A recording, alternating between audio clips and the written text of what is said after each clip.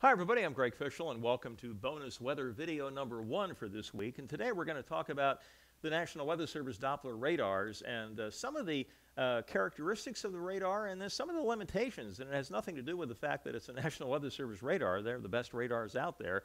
Uh, but there are certain limitations of our physical world which are, uh, affect everything. And radar is no exception to that. So let's go on ahead now and take a look at a couple of interesting tidbits, if you will, uh, concerning uh, radar. Uh, a couple of modes that the radar can be put into. One is called a clear air mode, and this is a hypersensitive mode where you only use this if there's not precipitation around or if the precipitation is very, very light and perhaps in a frozen form.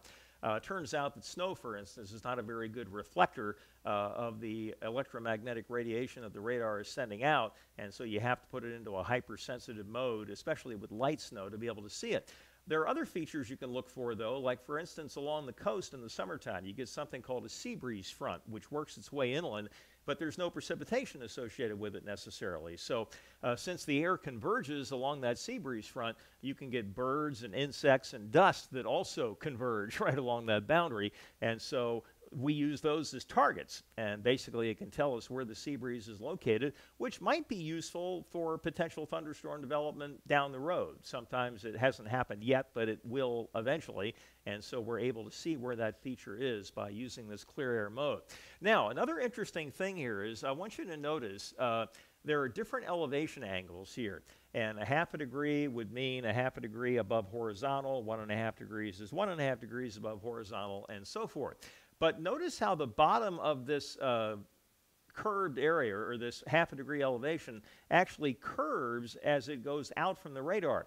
That's because the Earth is curved, and as the radar beam goes out, the Earth is curving away from it, and so it's getting higher above the ground. So by the time you get to 120 miles out, the radar beam is 10,000 feet above the ground, which means the people in Wilmington would never want to rely on the Raleigh radar to see something over them because it's looking at the atmosphere 10,000 feet above the ground. That's why the radars are spaced the way they are so that this minimizes that issue.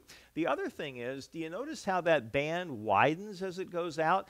That's because the radar beam widens as it goes out, and so it can't resolve the detail at a distance that it can close in. Think of having a really, really nasty resolution camera in the old days, and you're looking across a lake taking a picture of four houses. Well, that camera may see those four houses as one house, okay, which is really bad. But a higher resolution camera will see all four houses exactly the way they are. And so basically, radar is really good close in, and then as you head out, it begins to lose its effectiveness over time. Okay, let's go on ahead now and take a look at another mode that the radar can be in, and that's called the precipitation mode. And here you have a whole bunch of different elevation angles, all the way from half a degree up to 19.5 degrees. And you may wonder, well, why would you want to go all the way up to 19.5 degrees? Because we want to take a look, or the radar operator wants to take a look at the vertical structure of the precipitation that's falling. In a thunderstorm, for instance, a really strong thunderstorm will have an updraft that is so strong it actually suspends the precipitation aloft. And so, by being able to scan the entire thunderstorm, we can see where those areas of precipitation that are being suspended aloft are. That tells us the updraft is strong. That tells us the thunderstorm is potentially severe. And that's just one of many, many examples as to why it's important to look at the whole thing. However, there are some limitations with that as well. Here's a picture of what the full scan may look like. Do you notice that gaping hole right in the middle there? That is called the cone of silence. Basically, everything in that cone, the radar can't see. So if you're looking for something directly overhead of the radar or not too far away but at a decent elevation, you ain't going to see it, okay? And the tornado that hit back in 1988, the big Raleigh tornado, uh, Thanksgiving weekend of 1988, that radar formed very, very close to the radar itself. And so it was more than likely in the cone of silence uh, back at that time, although uh, we didn't have Doppler radars in Raleigh back at that time. Uh, but even if we had, that may have been an issue. Also, notice that brown area, that cone of silence, also exists near the ground and gets higher as you go out. That's the problem I talked about earlier, where basically the radar beam is going out, but the Earth is curving away from it, and so it can't see things underneath that elevation.